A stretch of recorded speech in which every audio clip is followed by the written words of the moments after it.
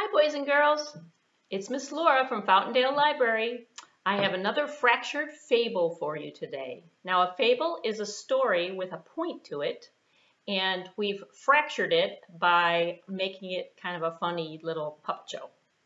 So, without further ado, here is The Lion and the Mouse.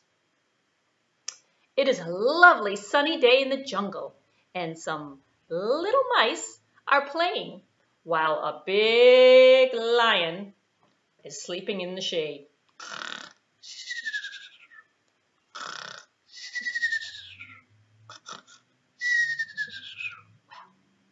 Look at that lion asleep in the shade. I'm going to go tickle him. I'm not afraid. And the little mouse jumps on the lion's nose. Oh, the lion wakes up with a roar. Roar! What is that tickle I feel on my snout? Oh, why look, it's a little mouse that is running about. And he puts his big paw right on his tail and opens up his mouth. He's ready to eat him. Oh no. Squeak! Squeak! Oh, lion! Oh, lion, I'm very sorry. Please don't eat me. Well, okay, I'm a kind lion. You can go and play with your friends. Oh, thank you, thank you. Perhaps one day I can help you. I don't think a little mouse can help a big lion. I mean, you help a lion? You tiny wee thing? What in the world could you do for this jungle king? Well, if you don't eat me and let me go free, someday I'm going to help you. Just you wait. Just you wait. Wait a minute. Is your name Hamilton by chance? Well, well, well, whatever. So the next day, the little mouse is walking in the jungle and he hears a strange cry. Help me! Help me! And you know what? The lion had gone hunting and now he was in trouble. He walked right into this big net. Oh dear, and he was caught. Help me! Help me! I am trapped from my tail to my snout, caught in a net and I can't get out. Oh, I will help you. What? How can you help me? You are only a little mouse. Don't you remember what I said before? Don't worry, dear lion. Never lose hope. You'll soon be set free when I chew through this rope. And so he started to nibble. Nibble, nibble, nibble, nibble, nibble, nibble. And then and the mouse gnawed and gnawed. That means that he's chewing. And he gnaws and he gnaws some more. And suddenly the rope breaks and the lion suddenly is free. Why, thank you, little mouse. You are a good friend. Yes, little friends can be great friends. Indeed. Yes, indeed. And you know what the point of the story is, my friends? Strength is fine, but please recall. Kindness matters most of all. The end. Thank you very much. Thank you very much. And that, my friends, is the story of the lion and the mouse. Please stay tuned because we're going to do a little mouse game.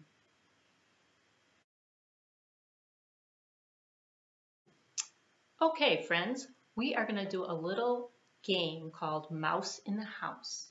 And the way we're going to do this game is we're going to, I'm going to teach you some sign language signs to do the little rhyme that we're going to say over and over again while we're guessing which house that the mouse is hiding in. Okay? So here's how the rhyme goes. Mouse in the house. So first let's learn mouse. Take your pointer finger and just go like that over your nose. That's mouse, the sign for mouse. House you take your finger, your hands together like this, and then come down and go down like that. That's house. So mouse in the house, mouse in the house, where, this is how you say where, where you just wag your pointer finger. Where is the mouse in the house? Okay, that's our little rhyme. So then we're gonna guess which house, which colored house the mouse is hiding in. So let's start with let's start with the brown house, okay? how you do the color brown in sign language is you put four fingers up just like that, tuck in your thumb, and you're going to take that hand shape and you're just going to go down your cheek with it. That's the color brown, okay? So let's start our rhyme. Mouse in the house, mouse in the house. Where is the mouse in the house? Is it in the brown house? Let's find out. No, it's not hiding in the brown house. Let's guess the yellow house, okay? This is how you do yellow. You put all five fingers up and then put the middle three fingers down. So just your pinky and your thumb are there and then you shake that hand sign, okay? So, mouse in the house, mouse in the house. Where is the mouse in the house? Is it in the yellow house? Let's find out. Nope, not in the yellow house. Hmm, shall we get, well, what color do you guys want to guess? Do you like the color orange? Let's try orange next. So this is how you do the sign for orange. You just squeeze your fist underneath your chin. I don't know what that sign is from, but that's the sign for orange. Okay, so here we go. Mouse in the house. Mouse in the house. Where is the mouse in the house? Is it in the orange house? Let's find out. Not in the orange house. Hmm. Let's let's guess the red house, okay? So you take um, your pointer finger again and go over your lips like that. That's the sign for red, like red lips. So here we go. Mouse in the house, mouse in the house. Where is the mouse in the house? Is it in the red house? Let's find out. Are you hiding in there, mouse? Nope, not hiding in the house, in the red house. Now blue is my favorite color, so let's, let's guess blue next. So blue is exactly like the sign for brown. You put four fingers up like that, tuck in your thumb, only this time you just shake it out in front of you. So here's how it goes. Mouse in the house, mouse in the house. Where is the mouse in the house? Is it hiding in the blue house? Let's find out. Oh, it's not behind the blue house. Hmm, that only leaves one more house. What color is that house? That color is white. That's right. So here's how you do the sign for white. You just pull from your shirt like that with your whole hand. Pull it out just like that. That's white. So our last rhyme. Mouse in the house. Mouse in the house. Where is the mouse in the house? Is it in the white house? Let's see. There's the mouse. He was hiding in the white house. Awesome. Well, I hope you enjoyed that game. See you later.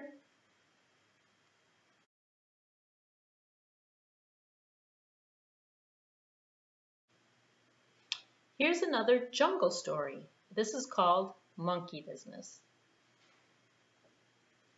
Why, hello.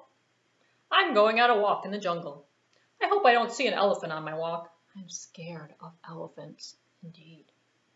Wait, what was that? What was that? Oh, I hope it wasn't an elephant. Ah, ah! Oh, I'm sorry. I, I didn't mean to scare you. It's okay. I was only scared because I thought you were an elephant. I'm, I'm kind of scared of elephants. Why are you scared of elephants? Have you ever met an elephant? Nope, nope, I haven't met an elephant. I don't even know what an elephant looks like. I know what an elephant looks like. Elephants are very, very big. Oh no. But as long as you don't make them angry, elephants are very gentle and kind.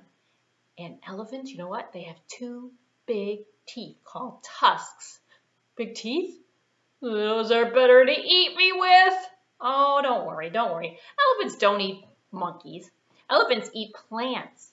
And they have big ears that they wave back and forth like a fan to keep cool. Hmm. I wish I could wave my ears like fans. Mine are a little bit too small, I guess. And the one thing, thing that you absolutely must know about elephants is that they have really unusual noses. They have unusual noses. Yeah, yeah, yeah. Their noses are very, very long.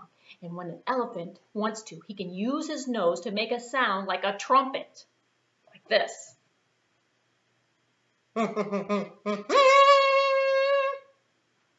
wow. That's pretty cool. I think I like elephants. See, elephants aren't so scary. Uh, you know what? I'm going to go find a banana now. See you later. Bye. Woo! Bye. Thanks for teaching me about elephants. You know, elephants may be big, but they're gentle and they eat plants. they have funny ears that they use to keep cool, and they have noses that sound like trumpets. You know what? Elephants aren't scary at all. No, no, no, no. Wait a minute. What's that? Oh, so, someone's coming. Oh no, it's a, it's a, it's a, it's a, oh no, it's an elephant! Ah! Wait. Was that a monkey? I'm scared of monkeys. Get me out of here. The end. Now, I would like to teach you guys how to say elephant um, using American Sign Language. Here's how you do it. Can you guys make a little fist like this? Look at your hand looks a little bit like the letter E, small letter E. Okay, you're going to put that right at your nose and you're going to go down and up like that, just like a big long elephant's nose. That's how you say elephant in sign language.